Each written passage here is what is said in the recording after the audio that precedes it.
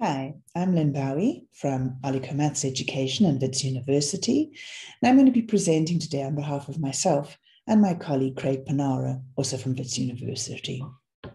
And what we want to share with you today is some insights that we've got from looking at learner performance, and these are grade seven and eight learners, on the whole number items in a diagnostic baseline test that we developed and administered um, and the main question we're looking at in looking at their performance is trying to discern their readiness, their preparedness for algebra.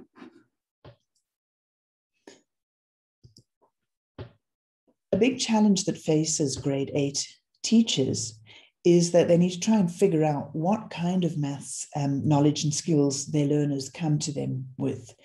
Um, and this is quite difficult because they're often dealing with learners coming from a whole lot of different primary schools with very different um, levels of background.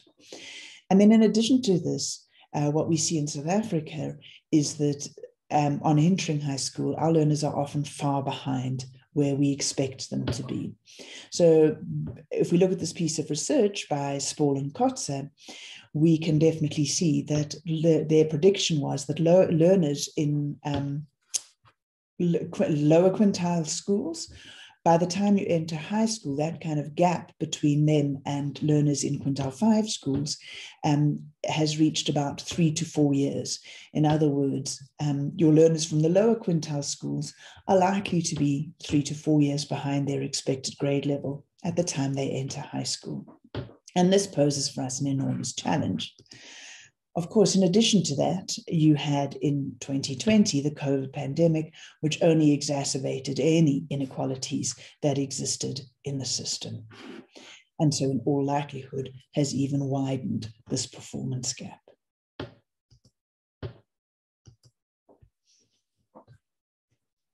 So, for Craig and I, there's been a, a, a, sort of ongoing interest and concern around improving the teaching of le- and learning of maths, particularly in grades eight and nine.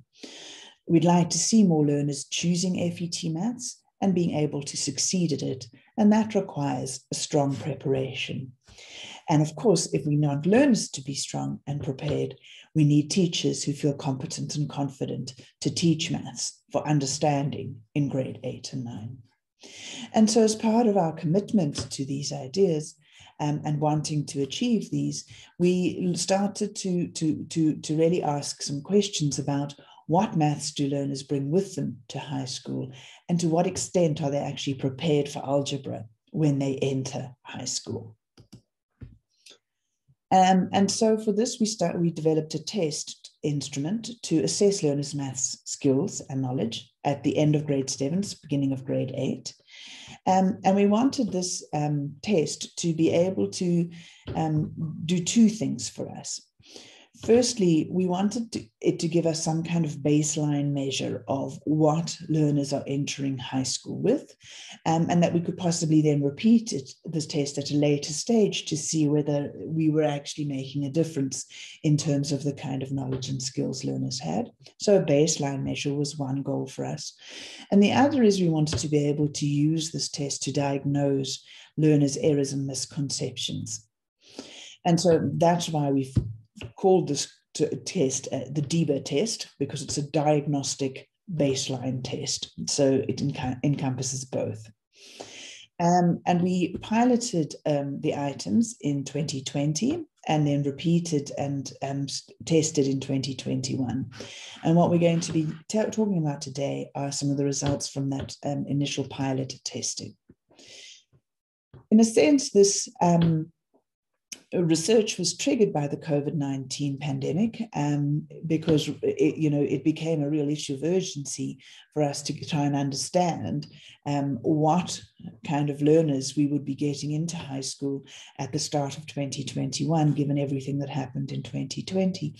But it certainly isn't limited to a, a response to COVID 19. Um, as indicated earlier, we, we've known for a long time now that there are real issues um, in terms of backlogs for learners entering high school.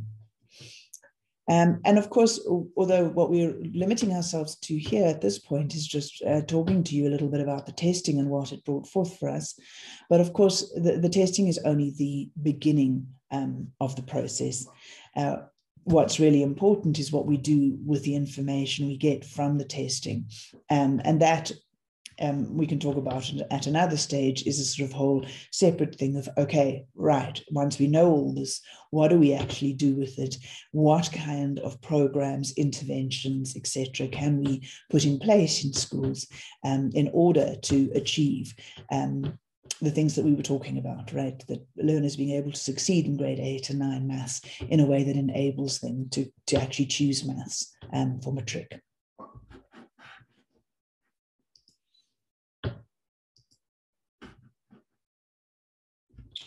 So, emerging out of this, then, um, are the clear research questions that we had.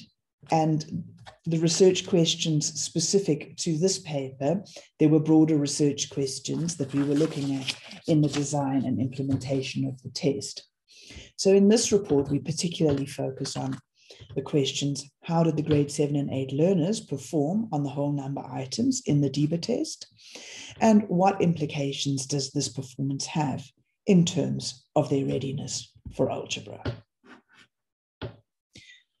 So before we dive into the um, the uh, actual results or anything, let's talk about preparedness, readiness for algebra, and the role that whole numbers might have within that. So there is no doubt that work with whole numbers is preparation for algebra and could be and should be preparation for algebra. But what is it within the whole work with whole number that is important for algebra? And we see two core themes emerging from the literature and our experience. The first of these is fluency, the importance of being fluent with the basic operations and with whole number.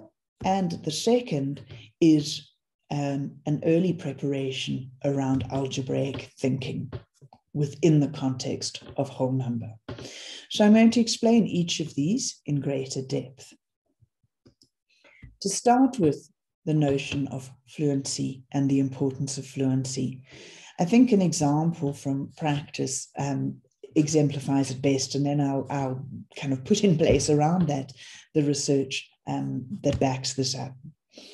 So, for example, if you imagine you're a, a, a, grade eight teacher trying to teach the distributive law and you're looking at um, explaining to your learners how to multiply 3x by x plus 8, what we often see when we're busy working with this um, and what we've seen many times in practice is that what the learner is going to is going to end up spending quite a bit of time on is the calculation of three multiplied by eight, because they don't have that fluency to know that three multiplied by eight is 24. And so what we see them doing is drawing all those little stripes, eight stripes three times, and then they kind of count all those stripes to work out what the answer is. And by the time they've kind of spent all their effort doing that, um, there's a real question uh, as to whether there's any space for them to even try and absorb the actual algebra and the background information that they need to be not background information, the new information that they need to be grasping. So there's the kind of core idea, the illustration of why we believe fluency with basic whole number facts is important from practice we've just seen. If learners are so absorbed in actually having to do the calculations in very painful, um, extended ways, um, they're not going to be able um, to really pay attention. The research literature backs this up. Um, very strongly. Um, so, for example, Pakutilo and Luna um, state computational fluency is a strong predictor of students' algebra achievement and retention. So there's no question in that regard.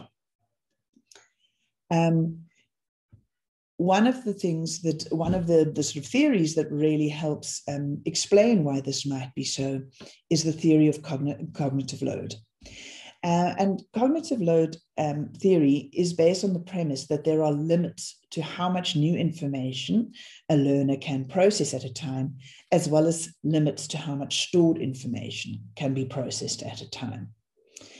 Um, and they, they make distinctions between various kinds of cognitive load, but of particular interest in the study is intrinsic co cognitive load, because that's the load that's inherent in the complexity of the content to be learned, and it's related to the number of interacting elements in the task and the prior knowledge of the learner.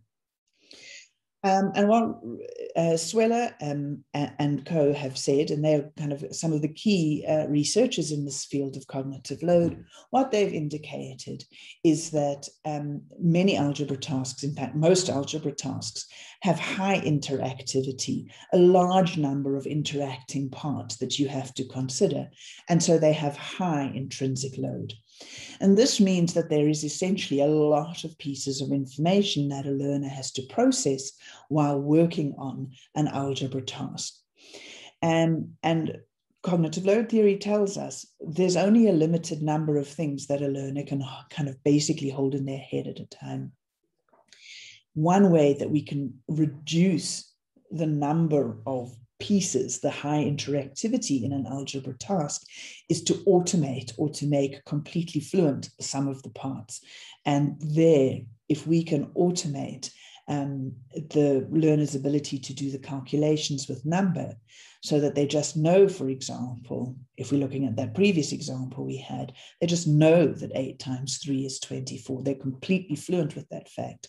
Then that, what could have been a large part of the load is no longer part of the load. And so they have um, the ability to focus uh, more specifically on the algebra that they're working with.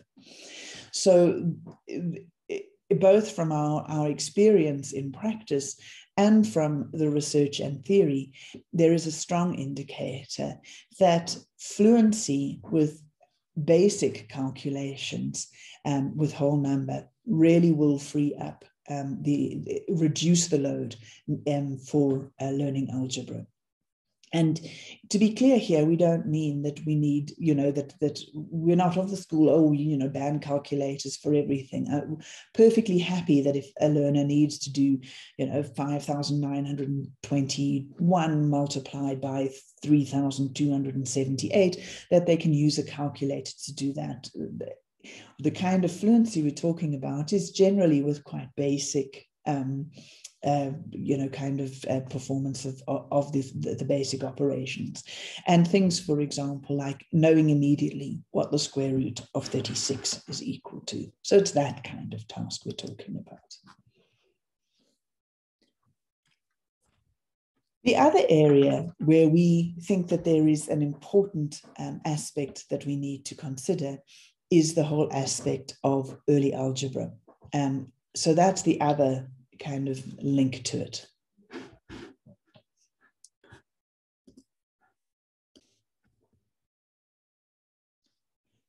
So to consider what are the aspects, what is early algebra and what are we talking about here is important. A number of researchers um, who have been looking at the importance of early algebra. Um, and really what they're arguing for is that it's really important to build learners' understanding of algebra through the early introduction of algebraic thinking. Now, that doesn't mean that we're talking about the early introduction of, you know, variables and, um, you know, a sort of any level of formal algebra. It's about building in the algebraic thinking into earlier years, and often this is done um, mostly this will be done through um, the way one looks at whole number. So if we have a look at some of the, the um, aspects that people have talked about um, in the research literature um, around what might be included in early algebra um, to get an idea of, of the field we're talking about here one key aspect is, is really moving away from seeing the equals to sign as give me the answer to the sum and seeing it in its true notion of representing equality um, between two, you know, the, the, the, the sides of the equation. So here, for example, seeing that what you're being asked to do here is not to say what is 83 plus 5, but being seeing that you want to have that left-hand side equal to the right-hand side. So experiences um, of early experiences of um, getting a proper understanding of the equals to sign is an important aspect of early algebra. The other thing that one wants to start to uh, get, get, learners working with and thinking about um, is the idea of generalizations, making generalizations, noticing how things behave, and trying to kind of formulate that into a, a kind of generalized um, statement. So, you know, on a very simple level, sort of being able to see that oh, if I take one and I multiply it by any number, it'll just be equal to that number. Um, and so kind of being able to make those statements rather than each time just one times three is three, one times five is five. In addition, being able to make that general statement, a one times any number is itself. In a similar vein, kind of looking at stuff, looking at, at, at, at um, patterns of how um, various operations behave. So, for example, here, noticing and making explicit and talking about the um, distributive law uh, with multiplication over addition and being able to see that this is how this works. These are all strong precursors for algebraic thinking, this kind of a generalization and noticing the patterns um, of behavior of um, the various uh, uh, multiplication, division, addition, subtraction, the operations. The other aspect that is important and, um, and emerge, can emerge um, early um, is the idea of, oh dear, don't know why that's gone backwards. Let's just uh, go back to where I was there. Um, is the um, work on functional thinking. So being able to, for example, look at kind of patterns and see how patterns emerge, or like in this kind of sort of flow diagram, function machine type idea, seeing um, the relationship between an input and an output, um, and kind of working with um, so, you know, here's a simple one of just actually working with the output. But in some cases, one can look at the input and the output and try to establish what rule um, created the output from the input. Those kind of things are one is able to work at long before one introduces any level of formal algebra, but certainly are great precursors to proper functional thinking within algebra. So, given these kind of ideas emerging from the research, for our test, we had some very key um, areas in the preparation for algebraic thinking that we felt important to, to test in the context of whole number. And these were the following three areas. The first one, understanding of the equal to sign and mathematical equality. Um, and that, like I've sort of shown before, the idea of the equal to sign is not simply a do something, it's, it's representing um, mathematical equality. The second is that idea of generalized arithmetic and the behavior of operations. And so there we would include a question like this. Um, a generalization that multiplying by zero will always give you zero. And then the third was the functional thinking idea. Um, and here, a lot of that was through pattern. Um, so, some just looking at what might go in the pattern, but then also trying to establish the rule of a pattern or to express the uh, kind of relationship between input and output. So, if we take that all together now to summarize what we had been thinking about as what within whole number work might be seen as important for algebra. The first large area was a, a quite a basic idea of fluency that uh, you need a fluency with some core number facts and then you also need these three aspects of preparation for algebraic thinking the um, understanding of the equal sign, behavioral operations, and some functional thinking. So those were our four broad areas. The test itself was much broader than simply looking at um, a, a um, whole number. It included um, whole number, it included some fractions, decimals, and percentages. It included patterns, which we've also looked at here in relation to whole number and function ideas. Um, but it also included some introductory algebra um, in a sort of you know reasonably formal sense uh, with um, you know uh, having to solve an equation, etc. Uh, and then it included some measurement and some geometry.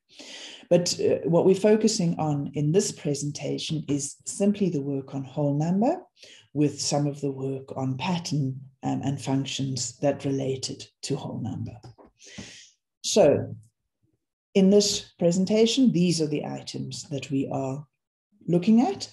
And these are in relation to those four areas of preparation for algebra that we have talked about from the literature. So there were 15 items that dealt purely with fluency with whole number, three that related to understanding of the equal to sign, eight looking at behavior of operations and generalized arithmetic, and then three relating to functional thinking.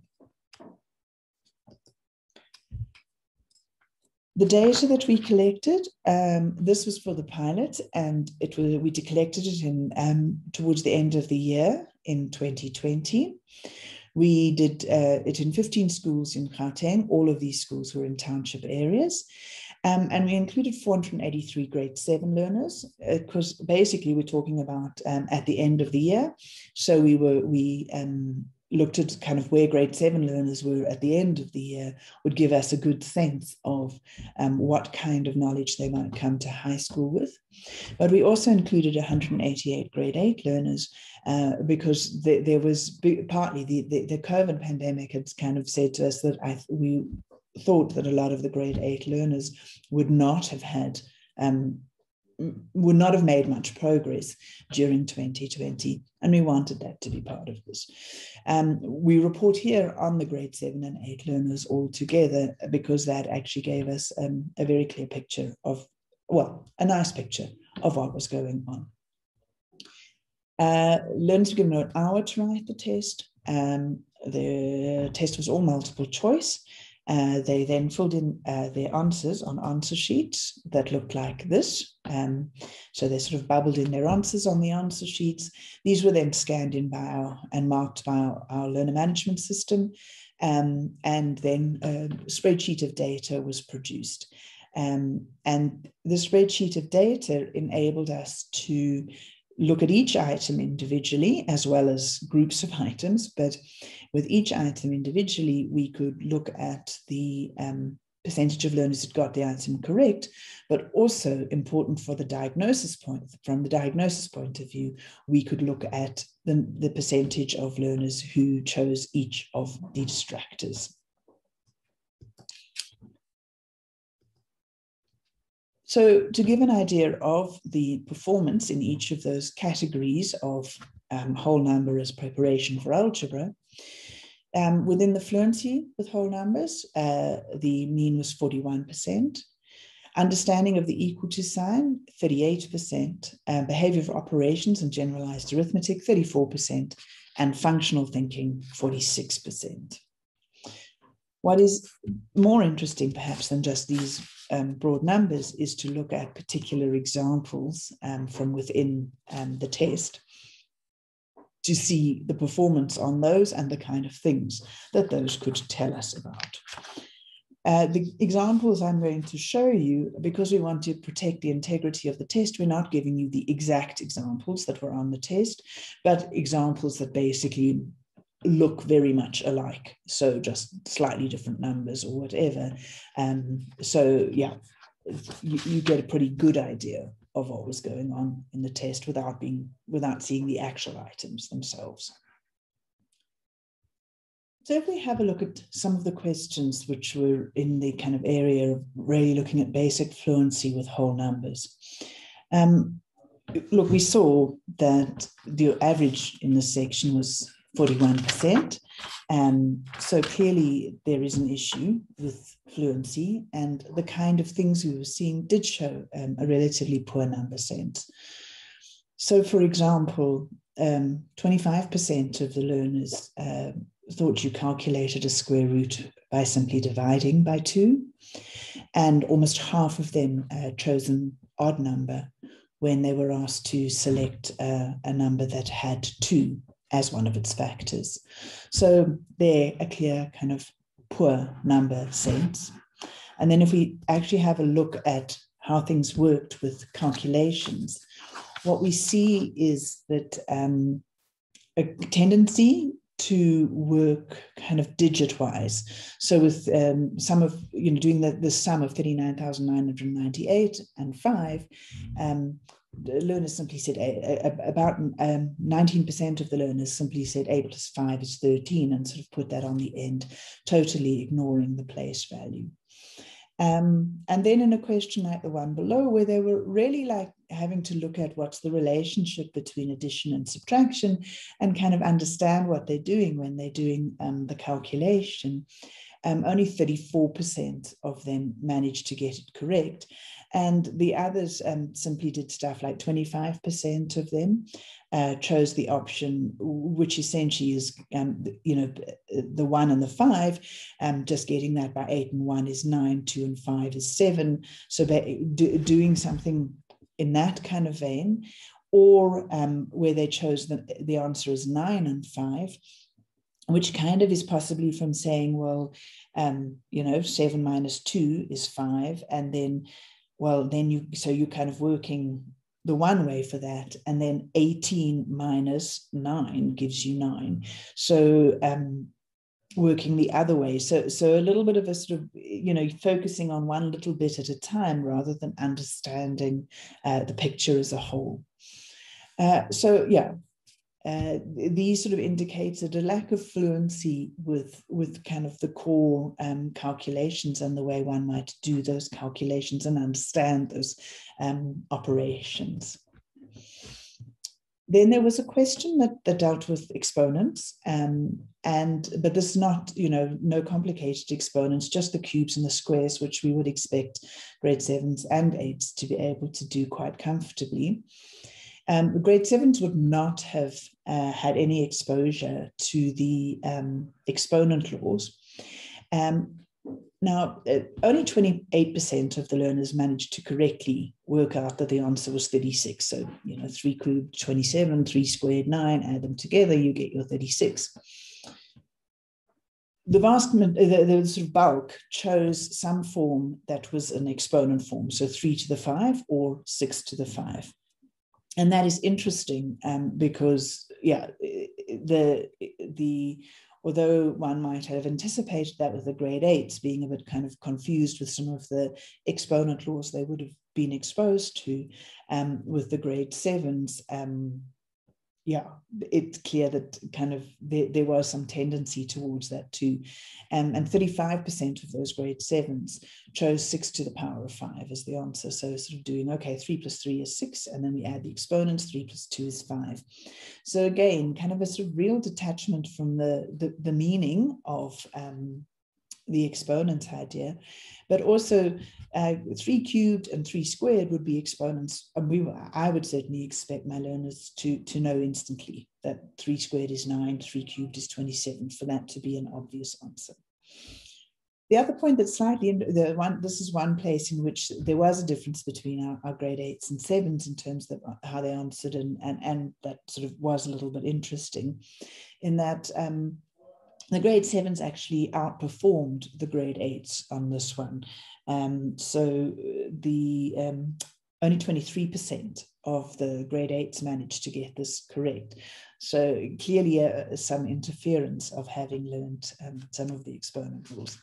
Uh, it suggests potentially that.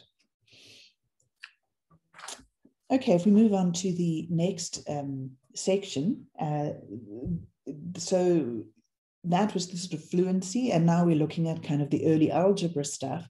Um, and that had our three sections. And the first is the understanding of the equal to sign. And here we see a very strong indication that a large proportion of the learners are still very much um, in, the, in the habit of the kind of equals means do something.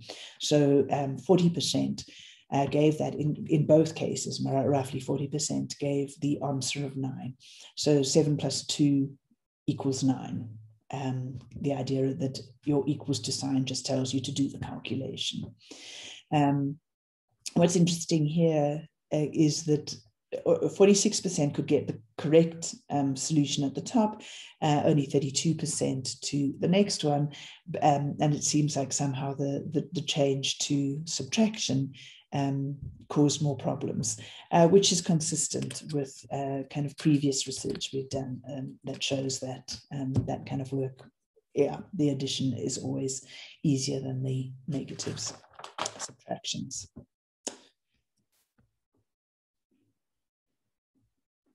In our next section in the early algebra, there were quite a number of questions um, that looked at the behavior of operations or generalized arithmetic, and this was one of the, the poorer sections um, in terms of, of, of, performance.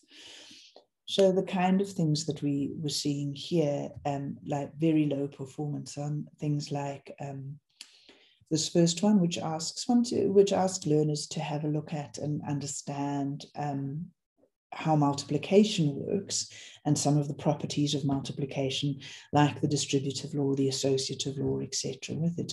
Um, and only 19% of the learners could get that correct.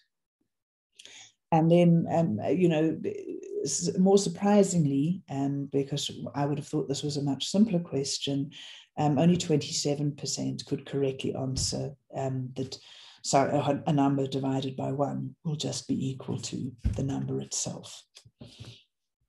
So this section for me was a particular concern because these are these are you know there is a very um, absolute kind of clear yeah parallel into algebra here um, and if learners are not able to see some of these um, the generalized arithmetical behavior of operations in this context of whole number, they're really going to struggle when it comes to algebra.